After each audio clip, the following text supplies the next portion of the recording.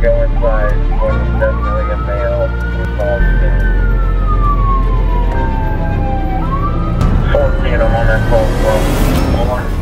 The one thing that we have come to understand in this career is that when someone um, decides to become a police officer, it's not just them, it's their family, it's their spouse, it's their significant other that also becomes a police officer as well and becomes a part of that family.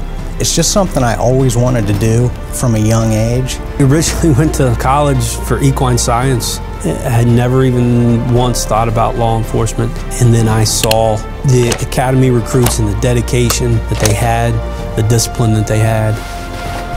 And I thought, man, I want to do that. I want to be that. I came into law enforcement because I wanted to help people, which is a very blase answer, but it's so true. I always thought it would be a rewarding career. It would be uh, giving me an opportunity to be a role model while at the same time giving back to the community.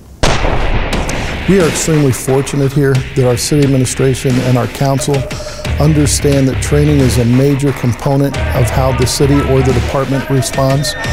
So we have huge opportunities for training, not just internally but externally.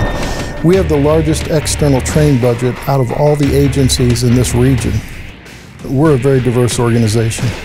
Being a department of our size, you have a lot of opportunities at horizontal movement, such as our task force positions, some of our specialized positions like canine, tactical unit, and those various positions. There are so many different avenues where you can take your career and not just patrol. You can be a detective, you can be a school resource officer, you can be a canine officer. It allows them the opportunity to really expand um, their horizon, especially when it comes to career law enforcement.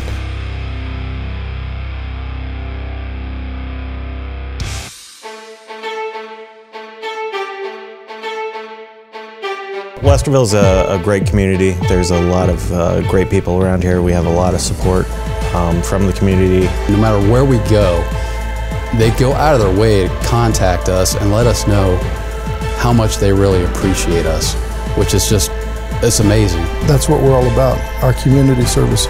We do the traditional side of policing extremely well, but we're also well known not just statewide or regionally, but nationally for our community outreach programs that we have. For example, as you'll see Cops and Kids Day, we have between 13 and 16,000 people attend that. It's a one-day event that we sponsor each year. I love the community support in Westerville, um, and in my position, I've gotten to participate in a lot of community engagement programs, such as the Explorer program, the Youth Police Academy, National Night Out, and it's great to interact with the residents, particularly on a non-enforcement level. For a lot of agencies, community-oriented policing is something that they have to work at. In Westerville, it seems to be naturally occurring, and to me, that's critical in solving crimes. I'm not only a police officer, but I'm an educator, I'm a mentor, a counselor, and it's important for me to be a good role model, especially for young girls who, who look up to me.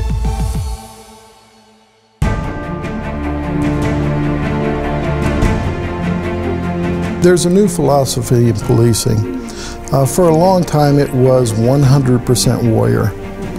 And the new philosophy is that very delicate balance between warrior and guardian.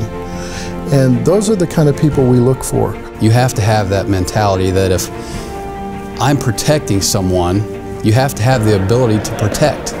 We want people that can not only recognize what their responsibility is, they can also fulfill that role.